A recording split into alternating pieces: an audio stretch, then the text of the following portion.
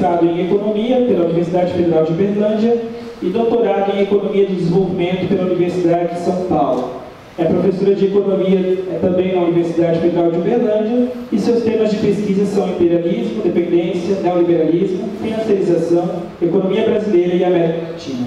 E após a conferência da Marisa com o título Capitalismo Contemporâneo, Acumulação Fictícia e os Dilemas Latino-Americanos. Bom, boa noite. É, é, eu, eu, eu, propus né, ao John que ele falasse primeiro e aí me ferrei. é, depois de uma, de uma fala dessa vai ser difícil aqui para mim, mas vamos lá. É, eu quero, antes de qualquer outra coisa, né, eu quero muito agradecer ao convite é, do IELA para participar dessa edição das Jornadas Bolivarianas. É, eu acho que esse é um ano emblemático, né? É, e para mim tem um sabor especial porque é a primeira vez que venho nas jornadas bolivarianas, embora já tenha vindo aí algumas outras vezes, né? E quero adicionalmente fazer como fizeram outros que já estiveram aqui nessa mesa, é, que é parabenizar o IELA, né? É, por garantir esse espaço e, enfim, por garantir a sua consolidação durante tanto tempo. É, e pelo que representa né, a, essa recuperação é, em torno do pensamento latino-americano, é, no que me toca mais diretamente, é um esforço de, de recuperação da teoria marxista da dependência, né? é, que é uma, é uma das teorias nas quais eu vou me sustentar aqui é, para fazer algumas colocações e de modo que o John já me facilitou muito a vida. Né? O meu objetivo aqui é tratar, né, é, ou pelo menos tentar, é, mostrar como depois de tanto tempo é, as principais teorias teóricas que estão presentes na análise do Marx, é, elas seguem vivas. Né? É, então, é, é, claro que o resgate do Marx ele não deve ser feito efetivamente de forma dogmática, né? Precisa resgatar o Marx é, criticamente, tá? É, mas me parece que essa vivacidade das categorias fundamentais que estão presentes ali, em particular na sua obra máxima, que é o Capital, é, me parece que elas seguem vivas porque o Marx entendeu como ninguém é, o capitalismo. Né? É, e por entender é, como ninguém o capitalismo, ele obviamente não poderia antever o século XXI, né, o que se passaria no século XXI, é, mas, enfim, conhece melhor do que nenhum outro, é, na minha opinião, é, imagino que na de vocês, né, é, a real dinâmica de funcionamento do sistema do capital.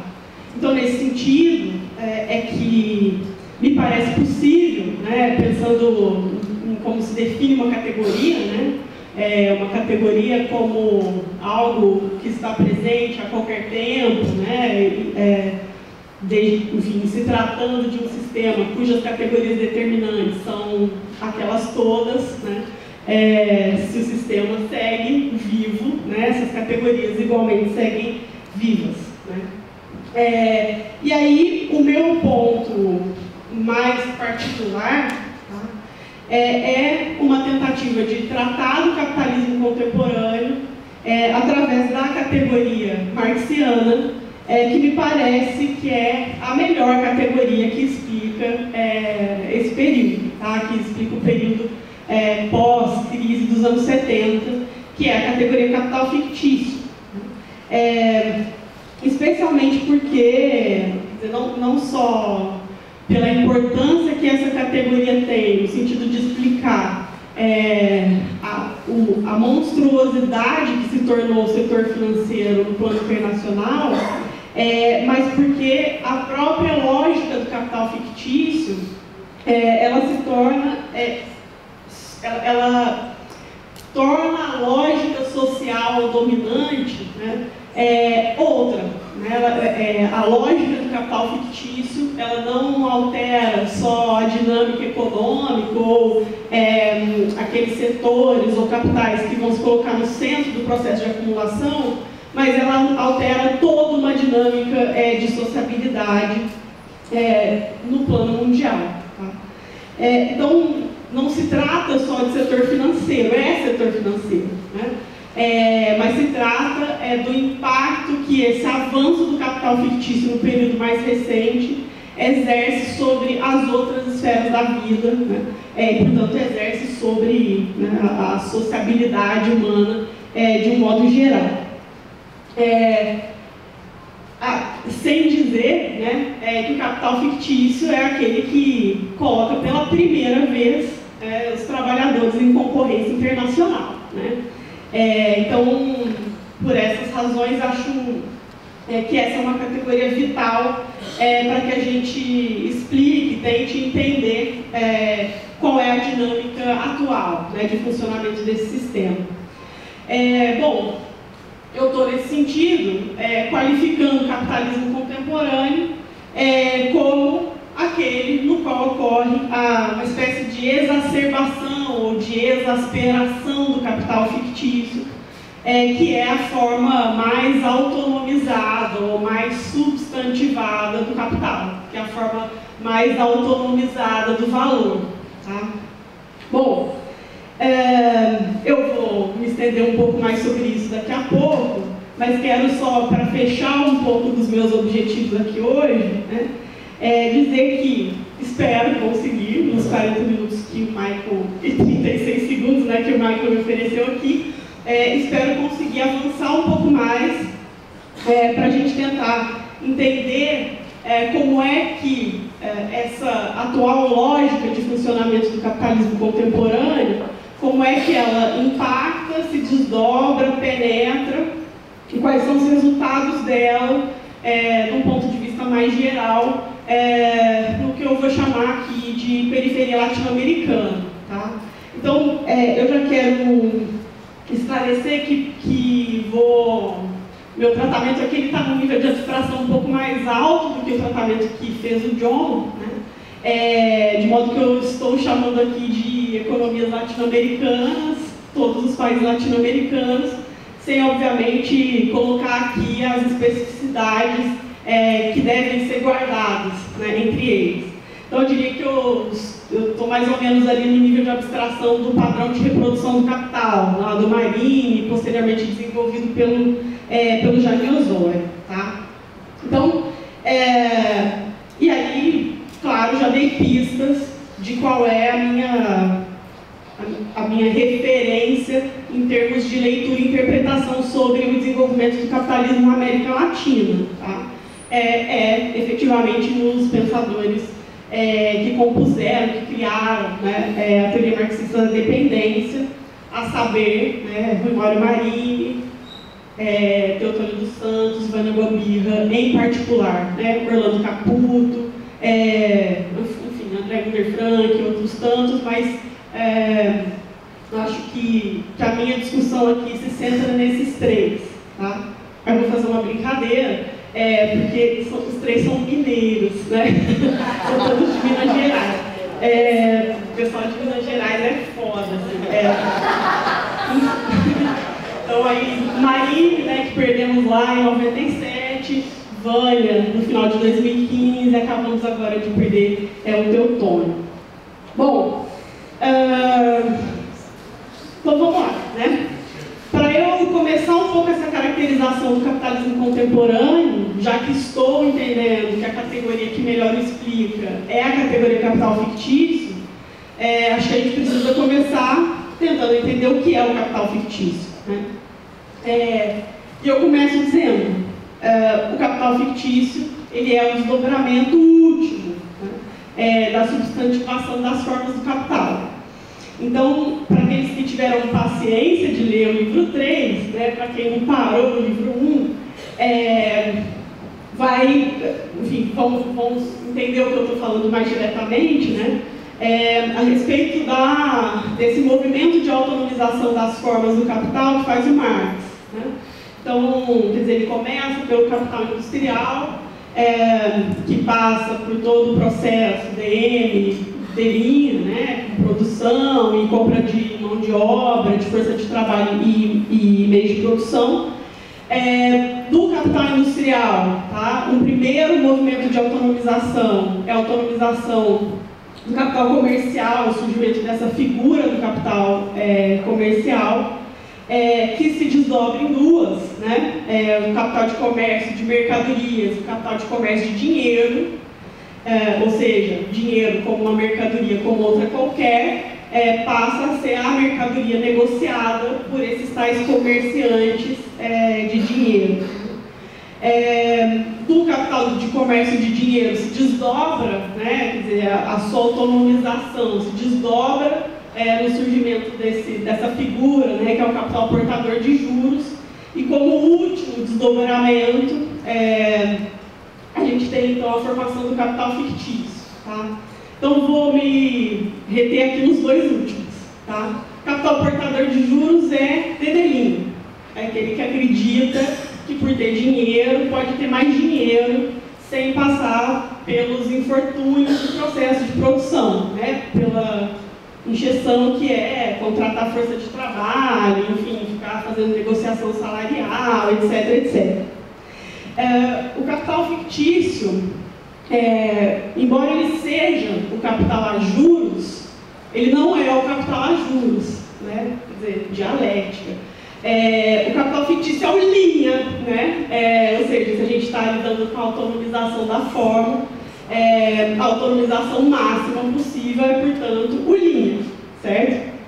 É, bom, então, o que, que isso significa? Né? É, isso significa é, que o movimento, esse movimento de autonomização, né, esse movimento do capital de metamorfose, de, é, enfim, metamorfose de formas é, é uma redundância, mas de modificação né, dos corpos é, nos quais o capital é, ele se apresenta, é, ele vai terminar é, nessa figura, que é a figura do capital fictício.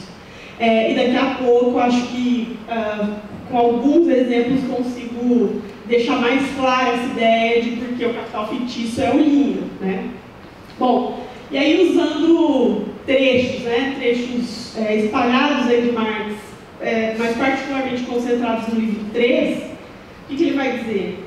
O capital fictício é a forma fetichista do capital. Ele é a mistificação capitalista é, na sua forma mais descarada. É, ele é a coisificação da produção elevada à máxima potência. Ele é um valor que se valoriza a si mesmo sem deixar nenhuma, é, nenhuma cicatriz é, do seu nascimento. É, ele é o capital como uma espécie de autômato. É, e qual é o, o impacto e qual é a disfuncionalidade óbvia disso? Né? É, é que essa figura, o capital fictício, ele faz, ela faz perder de vista por completo tá? É, a identificação da fonte do lucro, que afinal de contas, trabalho humano. Né?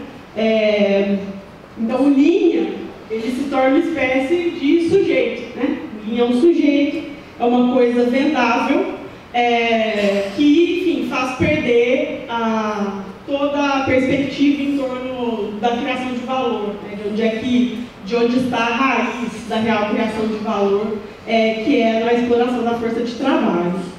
Então, nesse sentido, é possível dizer que o capital fictício ele é ilusório, ele é absolutamente ilusório. Porque, enfim, se o linha se torna vendável, né, se o dinheiro se torna vendável por si, é, a gente tem uma relação do dinheiro consigo mesmo, né, é, obviamente, os linhas que vão se é, ampliando né, é, ininterruptamente, né, desejariam capital, é, os linhas que vão se ampliando, eles naturalmente são ilusórios, eles não existem, né? É, simplesmente porque dinheiro não cria mais dinheiro, simplesmente porque dinheiro não cria valor, tá? É, bom, o que acontece aí, está o nosso grande problema, tá? é que é ilusório, mas é real. Ele existe. Né? É, e, e, como é que a gente pode é, entender a existência né, desse capital? É, bom, é, uma relação em que o capital fictício surge, né, é, ela vai se dar no seguinte sentido, olha, existe uma expectativa de apropriação de um capital no futuro. Cria-se hoje um capital, tá? É, com base nessa expectativa de apropriação. É, essa apropriação ampliada ela só pode se dar se houver produção e se houver produção de mais valor. Tá? É, Para isso é necessário que haja é, naturalmente a entrada é, no processo produtivo e todo o infortúnio que é ter que ficar fazendo negociação com o trabalhador, etc. É, bom, o que é, primeiro, né, é que a produção ela pode nunca acontecer, de modo que a apropriação desse valor que o capital fictício espera receber no futuro, ela pode nem se dar? É, mas esse capital foi criado, ele já foi criado e a partir dali ele começa a circular é, globalmente, né? É, então, acho que, que um exemplo, um exemplo bom, assim, que facilita, né? é o exemplo dos mercados futuros, né? funcionamento dos mercados futuros. Vai um sujeito, olha, quero investir na produção de trigo, né? Faz lá na Bolsa de Mercadorias lá de Nova York. Quero investir na produção de trigo, né? Beleza, é, topa, topo, então me adianto dinheiro é, e eu vou embora para minha casa com esse dinheiro.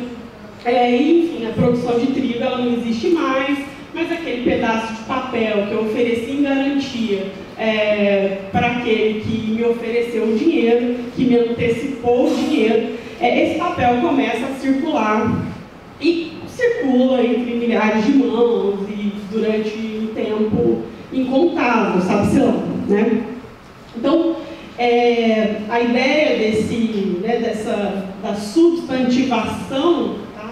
é, que vai levar que o linha é, seja né, é tipo a tara né, é, do capital, uh, essa substantivação ela passa por aí, né, é, por, uma, por um tipo de riqueza é, que não existe, mas existe, tá? a comprovação de que ela existe, é, ela se dá quando alguém que possui o papel deseja resgatar sua liquidez, né? e por isso é, quer fazer valer aquilo que tem direito, é, mas ela não existe porque efetivamente aquele, aquela apropriação que se faz é apropriação de alguma coisa que foi criada pelo trabalho, portanto, de é, alguma coisa que foi produzida de verdade. Né?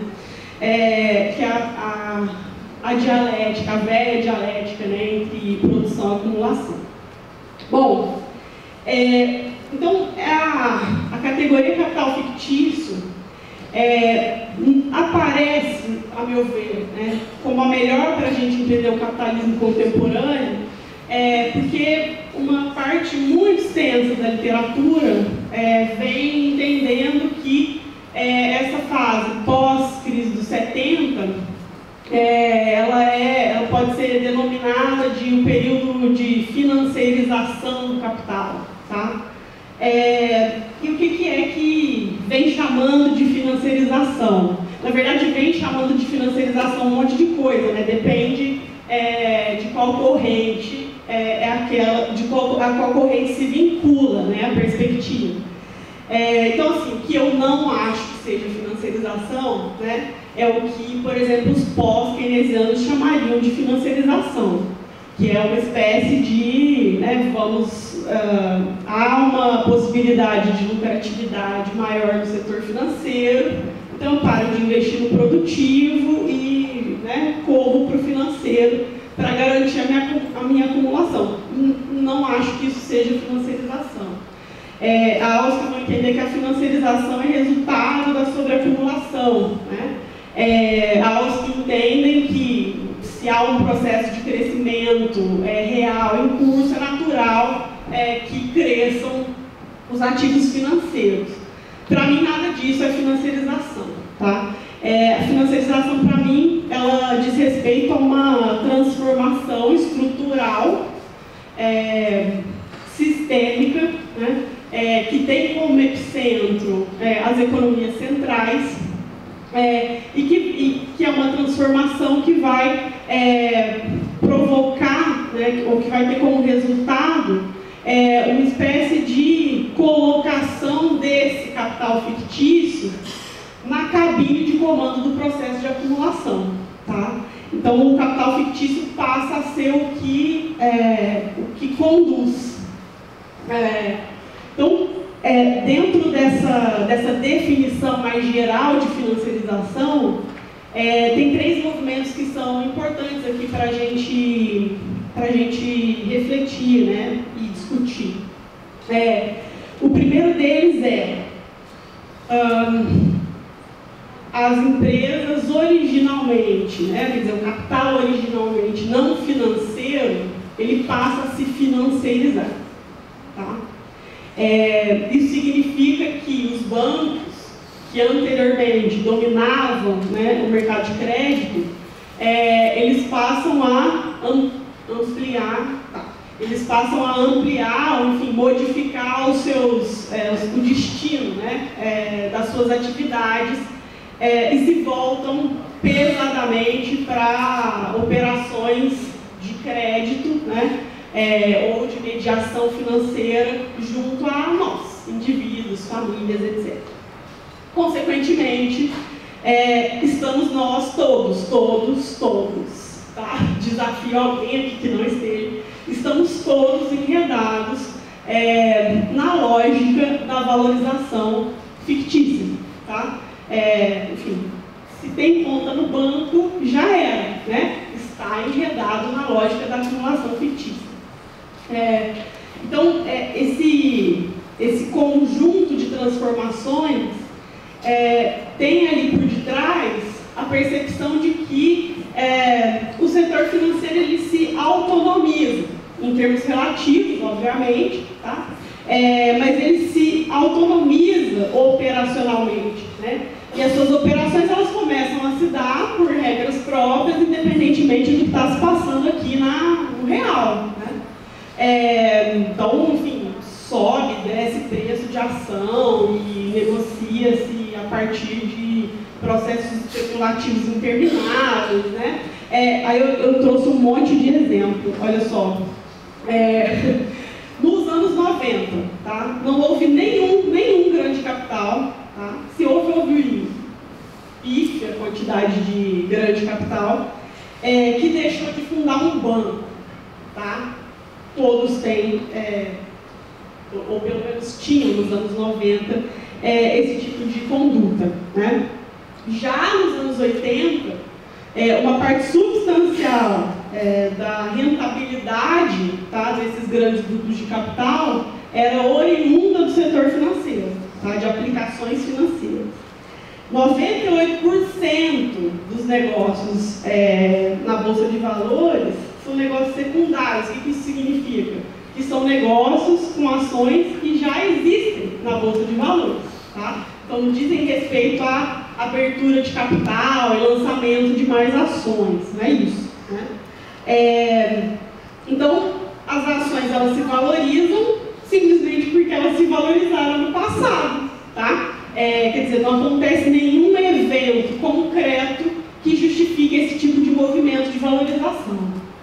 É, isso é, claro, após especulação, cassino de fato, né?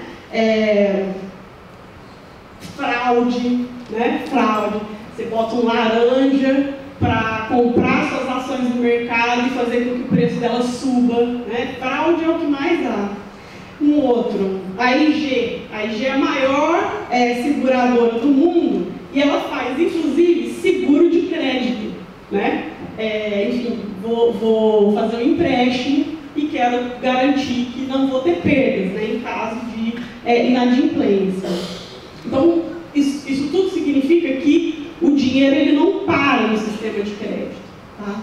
É, o banco né, ao oferecer o crédito, é, e ao receber em troca, consequentemente, um papel, né, um compromisso de pagamento futuro, é, ele pega esse papel, ele pega esses títulos é, e vai, enfim, aplicar na compra de títulos públicos. Né? O Banco Central faz isso. Né? O Banco Central, o que entra na conta reservas internacionais, sai direto para comprar é, papéis do Tesouro norte-americano. Né? É, bom, então isso faz girar uma roda, eu tenho 15, tá? isso faz girar uma roda é, que causa efetivamente a impressão de que a gente pode ficar rico né, é, sem botar a mão na massa, sem botar a mão na massa ninguém fica, né? É, capitalista fica, trabalhador, a gente aqui não. É, mas que é possível ficar rico sem é, fazer uso né, do valor de uso da força de trabalho, certo? É, portanto, sem explorar a força de trabalho. É, bom, então, diante dessa, desse movimento né, de intensificação ou de exacerbação e predomínio é, do capital fictício em nível mundial, aí eu quero chegar é, no debate sobre dependência, portanto, sobre a condição é, dos países latino-americanos. É, e aí, o que eu faço aqui é uma proposição. Né? É, o John já me adiantou muito, assim, porque fez o tratamento daquela que eu considero como a primeira fase, né, ou a primeira grande fase da dependência, é, que tem a ver com é, processos de transferência de valor é, que vão se dar muito vinculados ou muito mais vinculados é, a comércio, né? portanto, que, que tem relação direta com termos de, é, de troca. Tá? É, e aí, a gente, eu sempre, pelo menos eu, né, sempre recorro à periodização que vai fazer o Teotônio dos Santos, né? É, trazendo ali uma proposta em torno de três fases históricas. Tá? A, a despeito da discordância que eu tenho em relação à primeira, é, acho que ele acerta nas demais. Tá? E essas três fases históricas que o Teotônio propõe para a dependência, acho que todas elas têm esse vínculo é, com a extração de valor pela via do comércio. O que eu proponho tá, é, é que uma quarta forma histórica e uma segunda grande fase da dependência ela se constitui no capitalismo contemporâneo. Então, a minha lógica é, bom, capitalismo é um sistema que se movimenta, tá? É, considero, estou com ele, né? É, que desde o final do século XIX até agora né, entramos na fase imperialista do capitalismo. Mas, né, se o capitalismo se movimenta, se modifica, o imperialismo é uma fase dele, naturalmente né, há fases é, dentro da fase. Tá? É, e se a, a, dependência é o, é o reverso da moeda né, é, do imperialismo, por assim dizer, é, naturalmente, tá? se a dependência tem fases, é, a gente, isso significa estamos efetivamente num sistema que caminha, se modifica e acho que é, ingressamos é, numa nova fase, portanto, numa nova fase do capitalismo, do imperialismo e da dependência. É, o que eu proponho aqui, nessa quarta fase, as formas de extração de valor, é, elas estão uh, eu não vou dizer exclusivamente ou fundamentalmente, eu vou dizer é, predominantemente tá, é, vinculadas a instrumentos fictícios de valorização. Tá? É, elas estão predominante, predominantemente vinculadas é, a formas de extração, de transferência de valor que passam ali pelo que é, os economistas conhecem como a balança de rendas. Tá? que envolve aí empréstimos, investimentos diretos é, e etc. Então, uh, também listei um monte. Né? Uh, acho que essas transferências de valor típicas é, da dependência contemporânea, elas passam mais ou menos por, bom, transferência dentro dos mesmos grupos de capital. Né? É, transferência uh, de, em função de pagamento de juros por conta de endividamento, ou em função de remessa de lucros por conta de investimento direto externo, é, que nem sempre é, implica ampliação da formação de capital, né? É, porque há uma grande massa de investimentos diretos é, que são meramente especulativos, né? que dizem respeito à compra de ações de empresas é, já existentes. Né? Então, transferência por conta é, de pagamento de dividendos, tá? É, por conta de amortização de dívida, por conta de pagamento de royalties, tá? É, pensando um pouco é, numa ideia de retomada do debate sobre renda da terra do Marx para fazer uma discussão sobre renda tecnológica, né? É, então, quer dizer, tecnologias trancadas em patentes e aí a necessidade de se pagar pelo uso dessas tecnologias. Seguros, tá? É, mais recentemente inventaram essa coisa de cadeias globais de valor, né? essa bobajada. É, então, dentro dessa, dessa lógica de cadeias globais, acontece transferência, né? É, é, por conta das rendas tecnológicas. E agora a moda é a tal da criptomoeda, né? É, os bitcoins coisa e tal, quer dizer, né? Se alguém aqui investiu em bitcoin, vai se ferrar daqui a pouco. É, pode escrever, né? Bom, é, então, uh, me parece né, que esses passam a ser os elementos ou as vias principais é, que vão garantir tá, é, que valor criado nos países latino-americanos seja acumulado fora. Né? É, portanto, reafirmando é, a, a, proposta do Marinho da cisão é, das fases do ciclo. Né?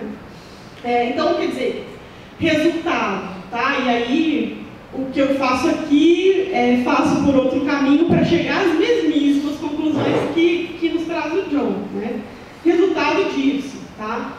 É, a gente tem uma intensificação, e mais que isso eu diria uma multiplicação tá? É, de mecanismos de transferência de valor, é, e o problema é que se eles hoje, se predominantemente se concentram nesses mecanismos vinculados à valorização fictícia do capital, é, o que a gente tem é que essas, esses mecanismos de transferência de valor né, estão todos vinculados a essa, essa suposta mágica da autovalorização do valor, tá? É, de dinheiro gera mais dinheiro e é, o pior de tudo, de que o linha gera mais linha, né?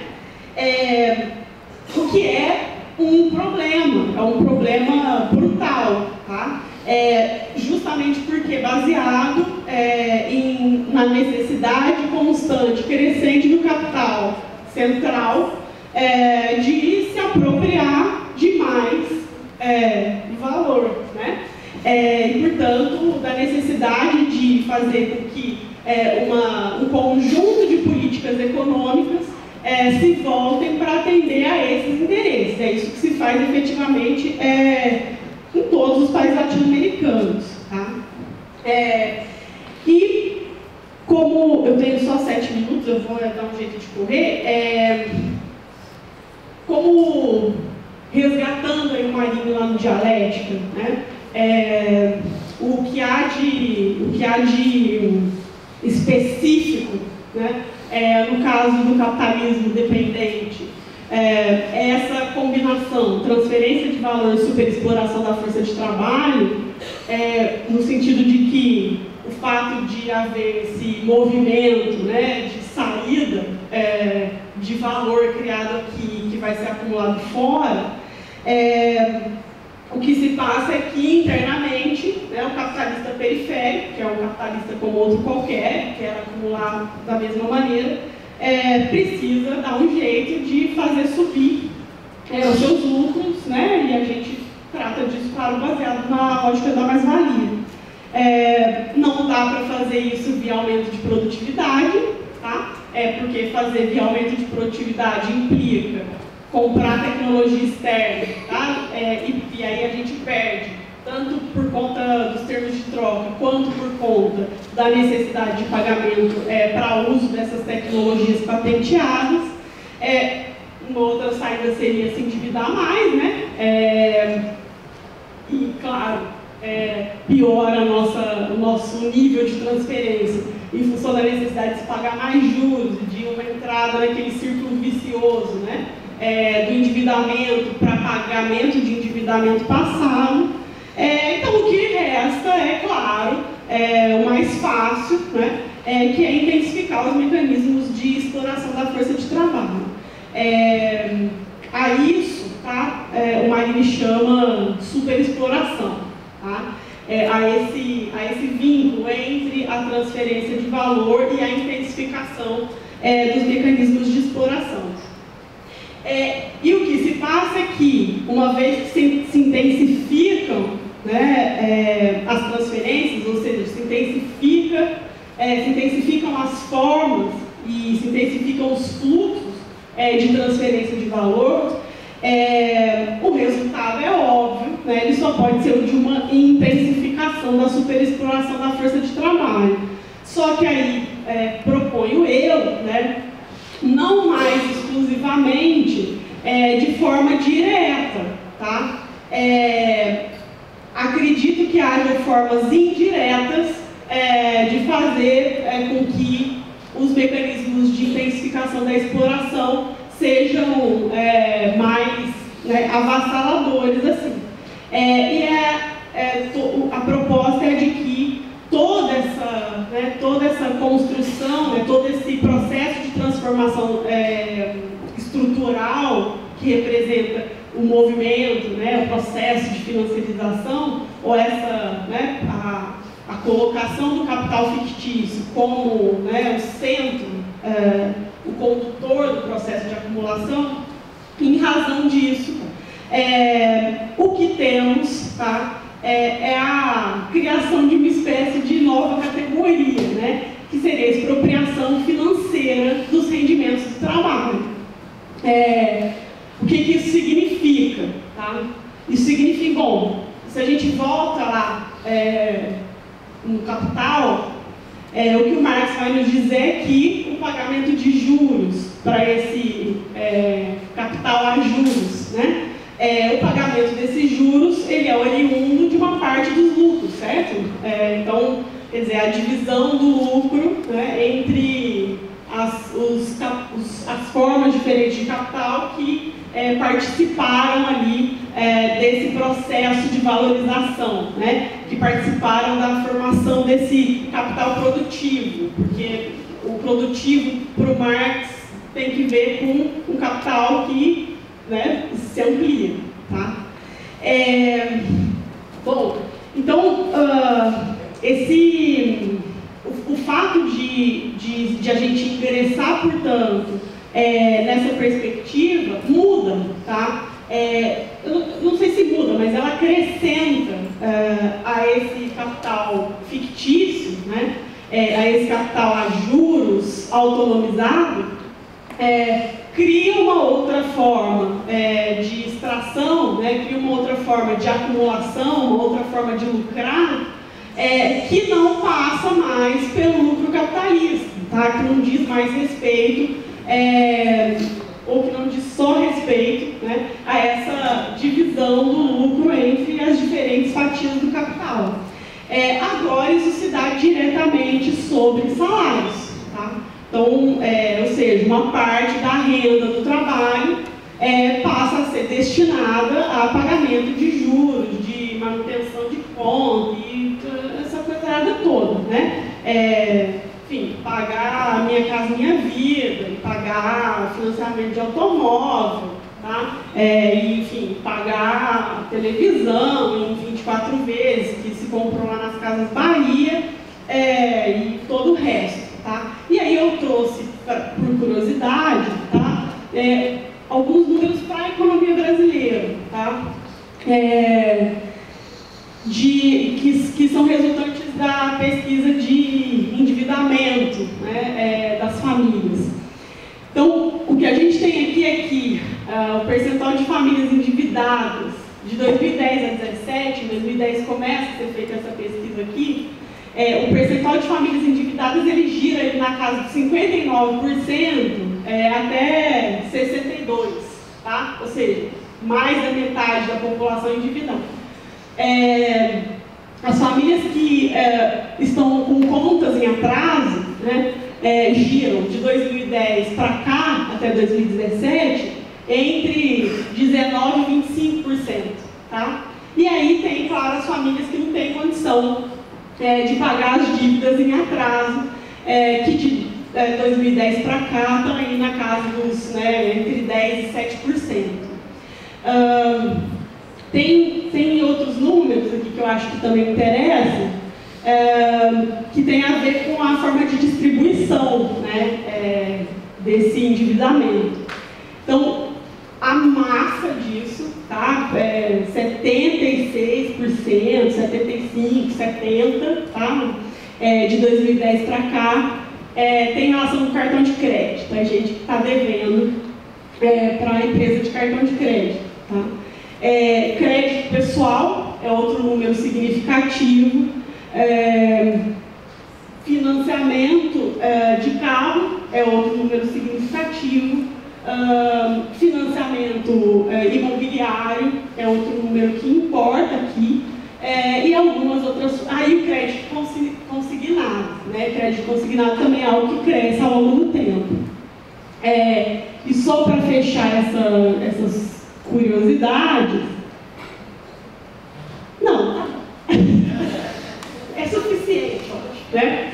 É, para que se entenda é, que não por via direta, tá? mas de uma forma indireta, é como se é, tivéssemos uma espécie de violação do valor da força de trabalho. Tá? É, quer dizer, uma parte, é, afora a violação que já é típica, já é própria é, do próprio é, sistema do capital, uh, há aqui uma forma de fazer com que é, essa violação se intensifique, e se se intensifica, é, a hipótese é de que naturalmente isso vai provocar o desenvolvimento de formas cada vez mais precárias de trabalho e de um nível de superexploração que é altíssimo, porque né, agora o sujeito precisa trabalhar em três empregos, ou né, Uber, tá? O Uber trabalha, sei lá, 18 horas por dia para garantir a sua é, sustentação e da sua família. Tá? Tem saída? Tem. Né? É, uma delas, tá? uma delas é, é a do Ken, do nosso colega Keynes, né? É, que é, claro, a saída reformista. Faz o quê? Baixa a taxa de juros, baixando a taxa de juros, o serviço da dívida cai, isso faz com que sobre mais recurso público, né, é, pro, enfim, para o setor público investir, etc.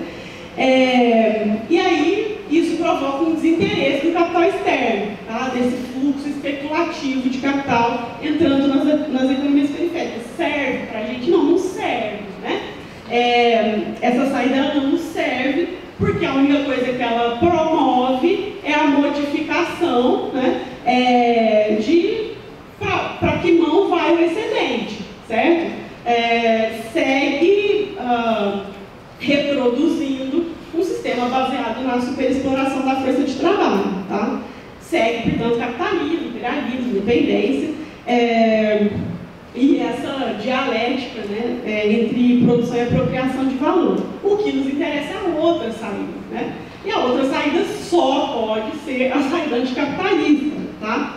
É, então, a saída é, alternativa ao sistema do capital, tá?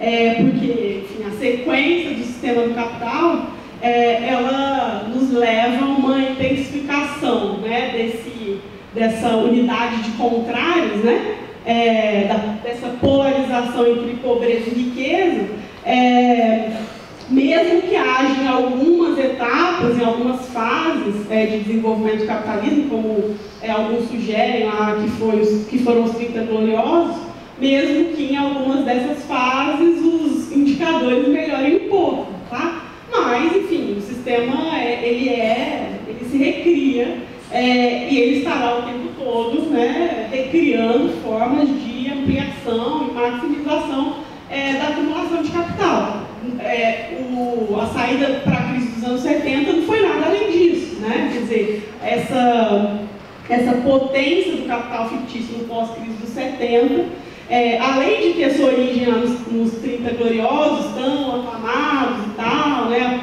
as promessas keynesianas, além de ter a sua origem lá, né, é, esse foi um movimento que representou efetivamente é, a consolidação desse novo né, esquema de acumulação é, que né, hoje Nildo mencionava, alguns números relacionados a derivativos. Né? Não sei se você falou de verdade, é, que a discrepância é aquela mesma, mas assim, se a gente pega dados lá de 2008 a 2010, tá? É, o produto bruto mundial ele cresce a uma taxa lá de 300 e poucos por cento, tá? de 80 até 2010.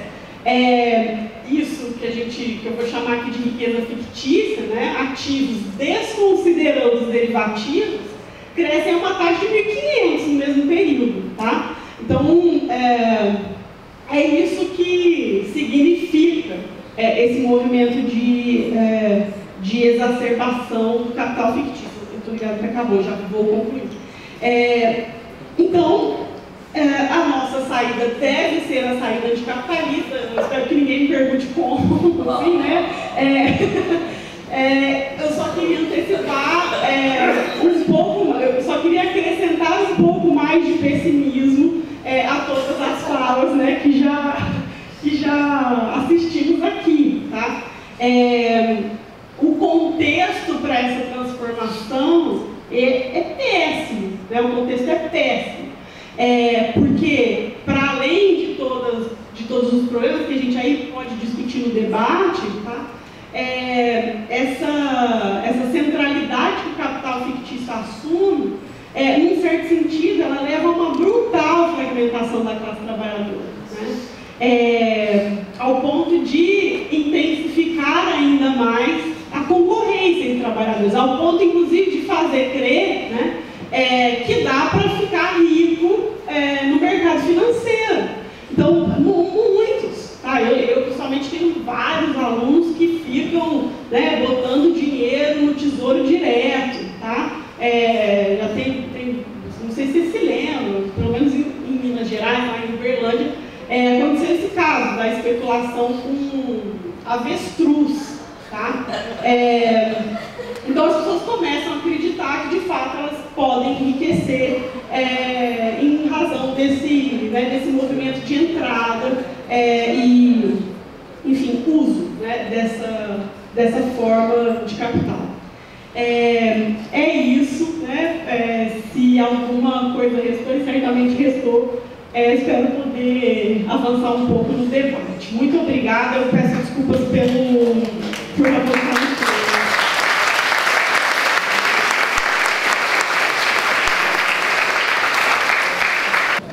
é, tal como pela manhã, tal como pela manhã eu, eu me adiantei para fazer a pergunta porque assim, estou absolutamente tomado em desassossego. Né?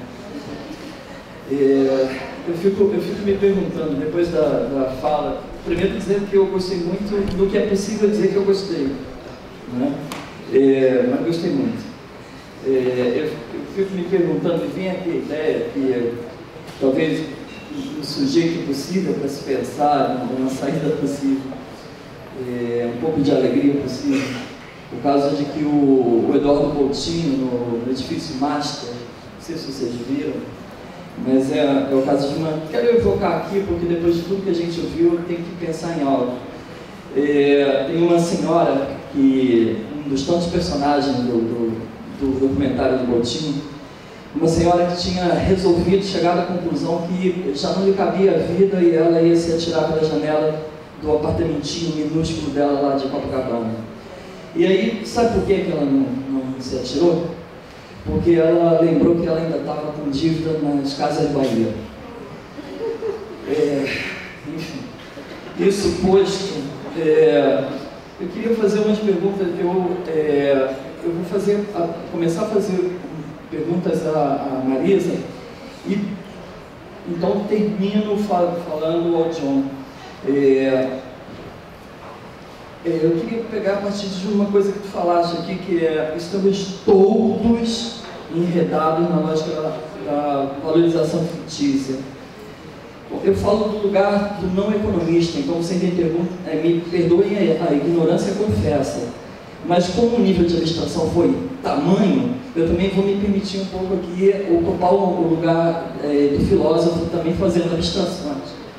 É, quer dizer, como compreender isso? Seria uma espécie de desmaterialização completa das relações entre capital e trabalho?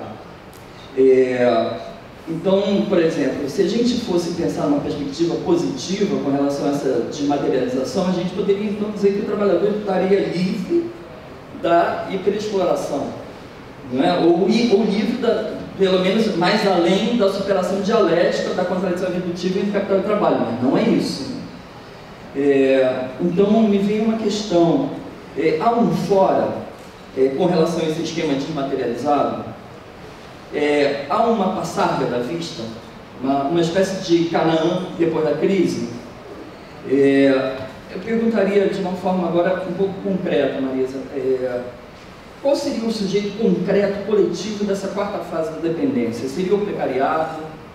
Seria o, inempregável que a Viviane Forrester fala no livro dela? Seria a lumpinização geral do corpo social? E será que a gente poderia falar que a insolvência é a destinação desse sujeito coletivo? É, boa noite, pessoal. Meu nome é João Pedro, sou mestrando em Sociologia Política aqui pela UFSC. E a minha pergunta vai direcionada à Marisa. É, é, na sua exposição, Marisa, você falou que a, a tese é que, que é sobre essa nova fase da dependência, a, a intensificação da superexploração seria por via indireta, por, pela via da, da, da financeira e extração pela, pelo endividamento. Queria saber se seria possível também afirmar se a, a intensificação da superexploração do posto de trabalho através da via direta, da via produtiva, no sentido de que, é, pela necessidade de se manter o valor acionário das empresas, existe todo aquele processo que a gente conhece, está cansado de saber, de desregulamentação do mercado de trabalho, flexibilização, precarização e seria possível afirmar isso como, como uma contraface da financiarização da economia. Obrigado. O que me causa um pouco de perturbação. O registro no BIS das transações comerciais internacionais gira em torno de 600 e tantos trilhões. E a gente sabe que o PIB é muito, muito, muito aquém disso aí. Esse é um ponto que você abordou aí.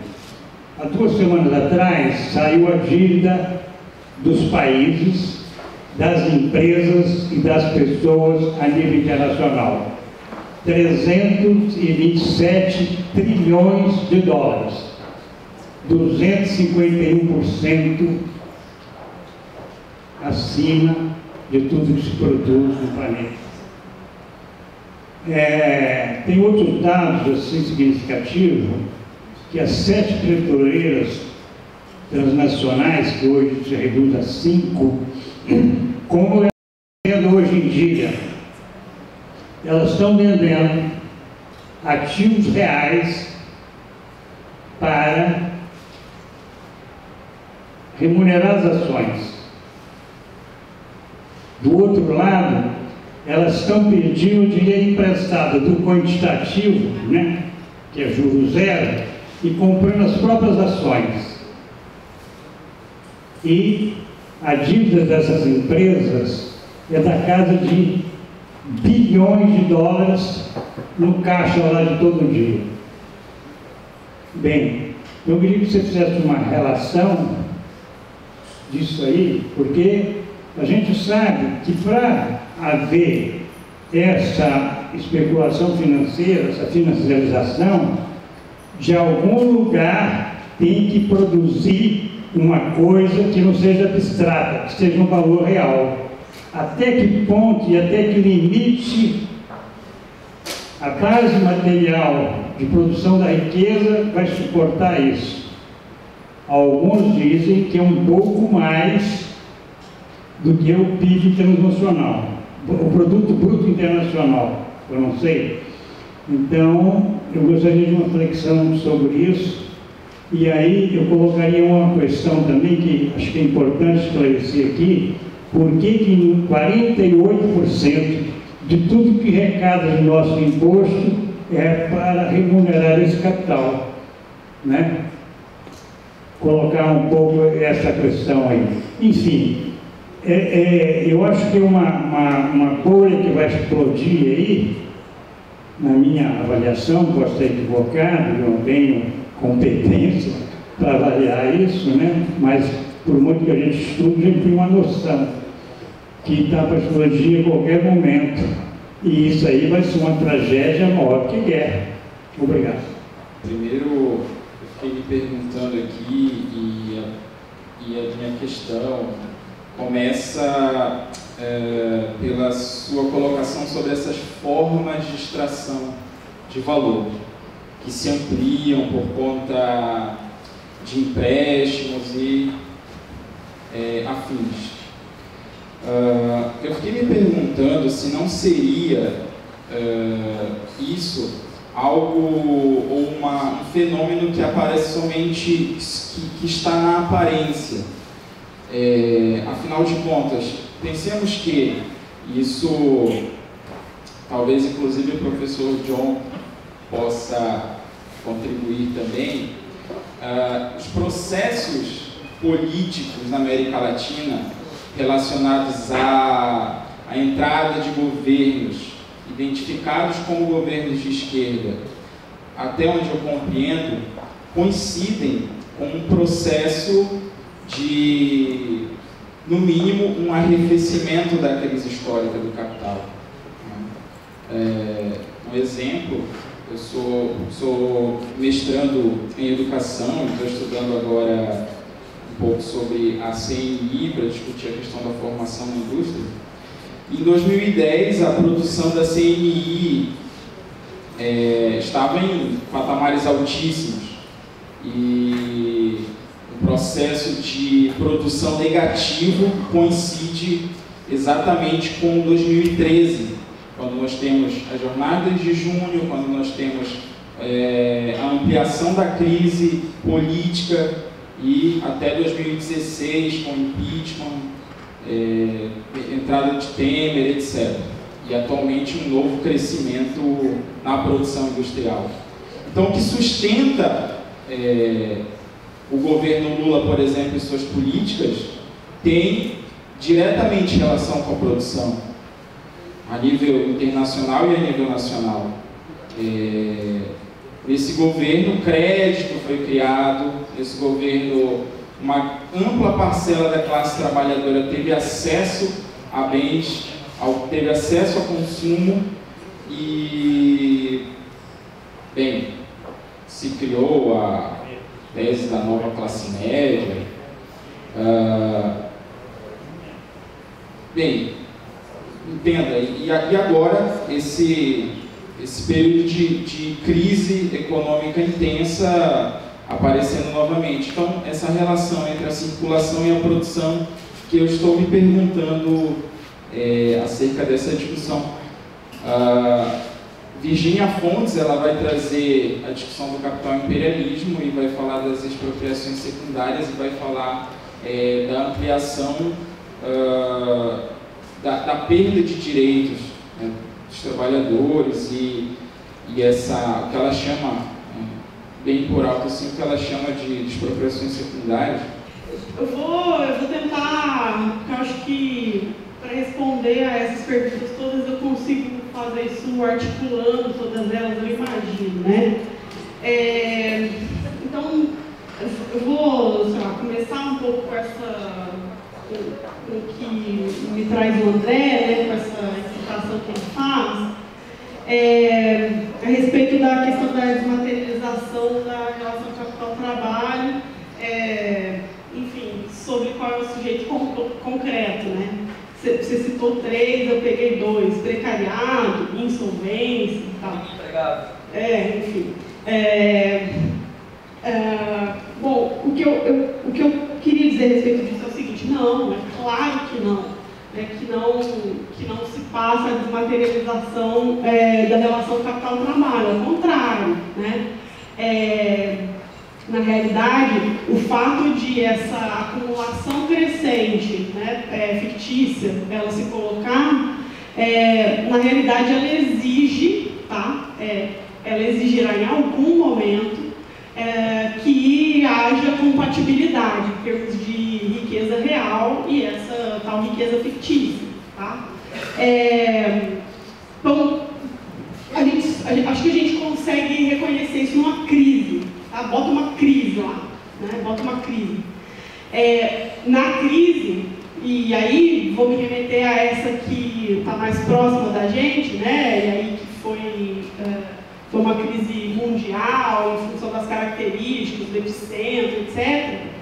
Na crise, é, qual é o desdobramento? Bom, poderia ter havido, né, é, o caminho mais direto teria sido, bom, quebramos, é, o resultado é desvalorização desses ativos, né?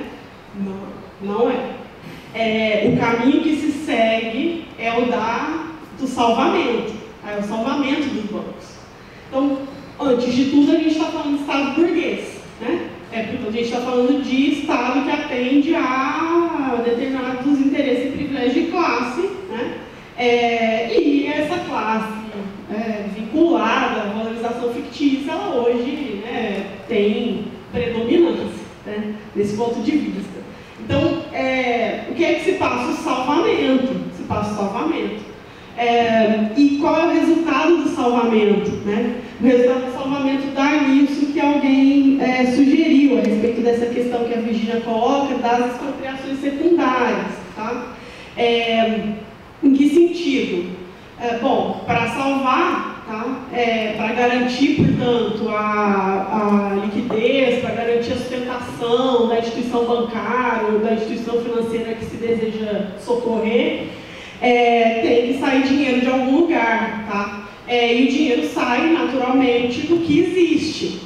É, e se o socorro né, ele se dá pelo Estado, se dá pelo governo, né, o governo está, enfim, é pelo Estado sempre, porque é o Estado burguês, a gente está falando de outra coisa.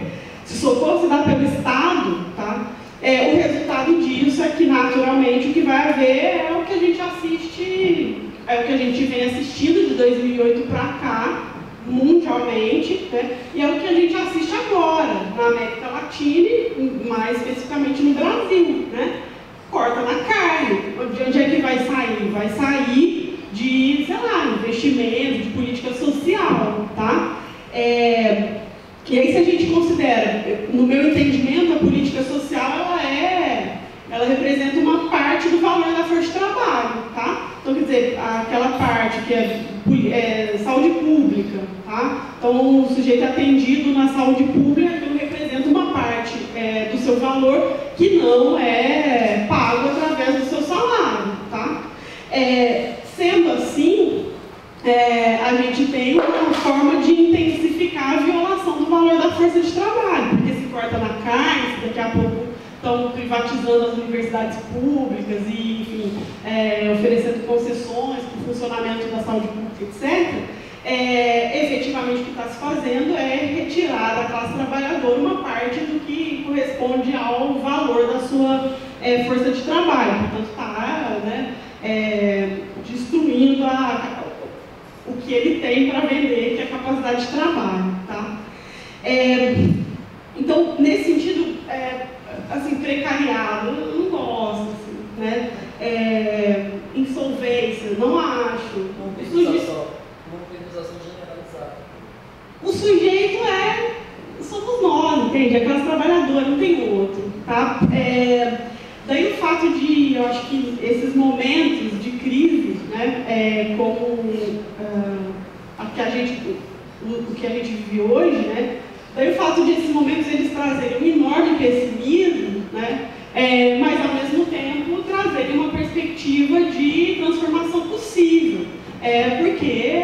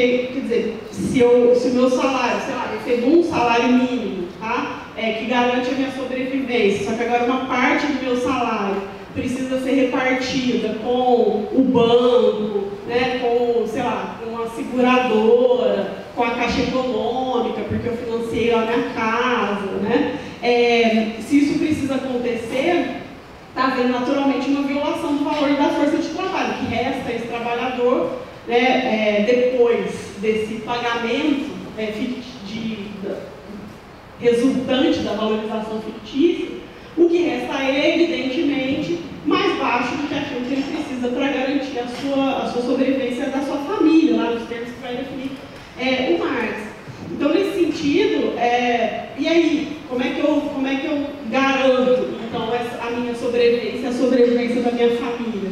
Eu aceito, eu topo, eu me vinculo a formas de trabalho cada vez mais precárias. Né? Quer dizer, eu começo a trabalhar em três empregos diferentes, eu começo a fazer Uber é, no meu horário vago. Né? É, já, já, eu sempre converso né, com motorista de Uber, fazendo essas perguntas, e é um pouco isso, não, eu tenho um emprego fixo, mas não dá.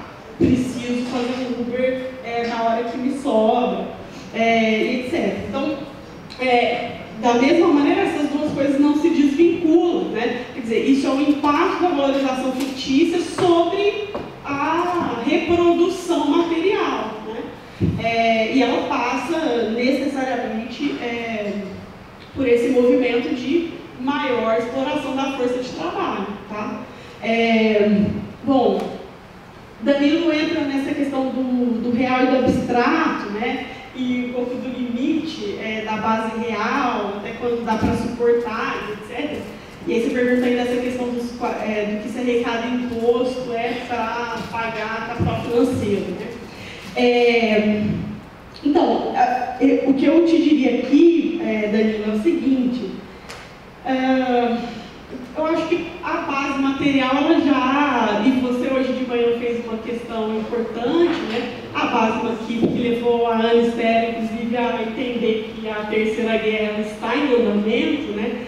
É, a base material, ela naturalmente já alcança o nível do esgotamento, tá? É, mas é, o capital é uma coisa, né, uma força extraordinária, assim, né? é, não no sentido positivo, naturalmente. É, esse tá? esse descompasso existente entre o que é real o que está aí na nuvem, tá? o que está na nuvem, é, que é brutal, é brutal o descompasso, né? Dizer, se todo mundo ao mesmo tempo quiser realizar, é, né, assumir liquidez e tal, não tem, não existe, tá? É, esse descompasso, ele se sustenta é, até o momento em que, de novo, estoura uma crise, tá? É, na hora da crise, aí sim, quer dizer, esses, esses capitais, né, é, vão dar um jeito de se proteger, vão tentar se livrar daqueles ativos que estão em processo de desvalorização, é, e isso, claro, provoca lá um movimento de quebra bancária que, em geral, é sustentado pelo Estado. Tá? Então, é, enquanto a gente vai falando de capitalismo, Estado burguês, etc., é, eu tendo a acreditar é, que esse processo ele, ele tende tá, é, a ser reproduzido até o ponto em que, enfim, sei lá, uma hecatombe acontecer. Né? É, e quer dizer, por que 48% do que se recebe é para pagar a dívida?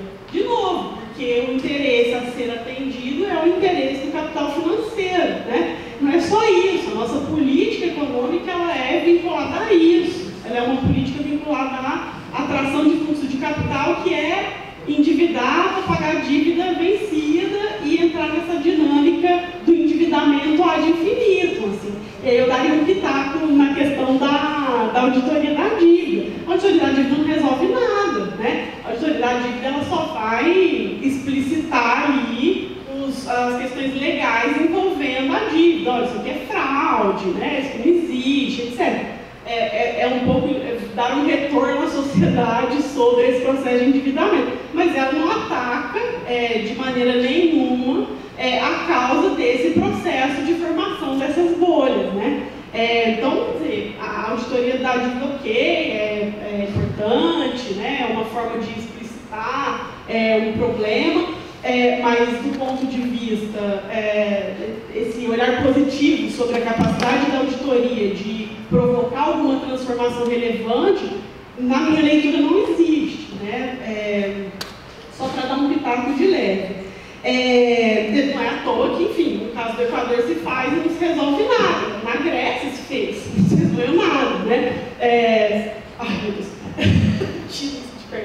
é, na Grécia não se resolveu nada, tá? Ficamos todos esperando que o Siriza fosse romper a zona do euro e, no entanto, o que se faz é uma renegociação, vamos fazer mais uma dívida para a gente resolver e não provocar uma dissolução aqui desse, uma dissolução do bloco, assim, né? É, bom, tá, Afonso, formas de extração de valor, se não é um fenômeno que está só na aparência. Tá, e aí você vai falar do Lula, eu fiquei muito afim de conversar sobre isso. É, news agora. é, você aponta, Afonso, é o seguinte, a ideia de que uh, os governos progressistas eles teriam, teriam supostamente conduzido a uma espécie de arrefecimento é, da crise mundial, tá? É, através de uma espécie de fomento ao capital produtivo, sabe? Desculpa através de uma espécie de fomento ao capital produtivo e, é, enfim, crédito, acesso a crédito e é, ampliação da exportação de bens, e, é, ainda que sejam bens vinculados à exploração de recursos naturais. Na verdade, é, eu falei assim, que isso é uma aparência possível por conta da dinâmica do capital mundial. Não que tenha sido algo é, é, que a priori a ação dos governos realize isso, mas na verdade a possibilidade do desenvolvimento capitalista permitiu que esses governos realizassem essas Tá, tá. É, então é aparência, tá? Só pareceu mesmo. É, porque é, esse, esse movimento que foi feito, em particular pelo governo Lula, tá? é, ele tem que ver, na verdade, com uma abertura de portas é, para que o grande capital internacional lucrasse como nunca. Né? É, os bancos nunca lucraram tanto, tá? É, e assim como aqueles que investem né, é, produtivamente falando. Então, é, qual foi a estratégia do Lula? Né? É, a estratégia do Lula foi passar de uma condição de país, fazer com que o Brasil passasse de uma condição de país deficitário para a condição de um país superavitário, né? portanto, de um credor internacional. E, e aí propalou a quatro ventos essa ideia de que é, pagamos, resolvemos o nosso problema com a FMI, né? É, nossa vulnerabilidade externa se resolveu e etc. É, então estamos a um passo né, da autonomia e blá blá blá. É, na realidade, o que essa estratégia é, provocou, ela, ela, se sustentou é, no seguinte movimento. É, o Lula né, é, passou a com, e aí depois eu também vou dar pitaco na história do neoliberalismo, neodesenvolvimentismo. O Lula é, é, seguiu é, a linha de política econômica que está baseada lá em é, sustentar a estabilidade monetária, né? É, através de taxa de juros, tá? o que é extremamente atrativo para o capital internacional, e através dessa política, que ele alcançou foi uma ampliação brutal da conta reservas internacionais, tá? por essa via financeira e pela via da, do estímulo, né? a produção interna. Acho que uh, os episódios de, daqueles, de, das filas de caminhões lá perto do aeroporto Santos para exportar soja são exemplos disso. Né? É, mas qual é a implicação disso? Tá? Tudo né, que entra na conta reserva internacional, em dólar ou em qualquer outra moeda estrangeira, precisa ser convertido em real, tá? Se está entrando é porque alguém vendeu e quer receber, tá? É, uma vez que se converte isso em real, há uma ampliação da moeda em circulação, tá? É, desencadeia processo inflacionário. É, o nosso lance é controlar a inflação, a gente trabalha com regime de meta, tá? Então, o que a gente tem que fazer? A gente precisa tirar dinheiro de circulação para evitar que esse processo inflacionário se desencadeie. Como que tira dinheiro de circulação? Dívida, tá? Então, quer dizer, o Estado emite título, tá? É, bota título à venda para tirar moeda de circulação. É isso que vai fazer com que, ok, a nossa dívida externa, ela muda ali os seus patamares nesse período, mas a dívida interna explode, a dívida interna explode. Né? É, e mais do que isso, tá? essa imensidão de reserva internacional em dólar não fica lá parada, claro. Tá? É, o que o, a, o movimento de saída é, isso vai tudo investido, é, em, em geral, em papel do Tesouro norte-americano, porque são, são papéis seguros, né? É, ou seja, é mais grana para favorecer essa, esse giro da valorização fictícia, né? que, que eu entendo que está em sustentação né, da, do dólar como dinheiro mundial é, e é, da relação disso com o sistema financeiro estadunidense. Assim. Então, é, é aparência, tá? Se a, se a, questão foi essa, é mera aparência. É, bom, é, e aí, metendo o bedelho um pouco nessa questão do neoliberalismo e neodesenvolvimentismo, é, eu, eu sei se eu diria neoliberalismo e neodesenvolvimentismo se complementam. Na minha leitura, eles são a mesma coisa, tá? É, com uma roupinha ali diferente, mas o que me parece é, é que o neodesenvolvimentismo, diferentemente do neoliberalismo, a única coisa né, diferente, é, é, reforçar um pouco essa presença do Estado, é, ofertando né, Bolsa Família, ofertando, sei lá, o lá do Minha Casa Minha Vida e, e essa coisa toda. É, permitindo né, que haja abertura de crédito, acesso a consumo e tal. É, mas a perspectiva, ela segue sendo a mesma, tá? A perspectiva é de garantir, é, quer dizer, é de abertura. A perspectiva é de produção interna para o mercado externo, tá? É, e essa coisa do Estado, é, o Estado neoliberal ele não é um Estado que deixa de fazer essas interferências. Tá? É, e, e, na realidade, eu acho que eu é não. Olha, e aí vou para uma opinião que, que eu venho, né, é, na qual venho pensando que tem a ver inclusive lá com os anos dourados. Tá? É, esse esquema mais ou menos keynesiano, na realidade, ele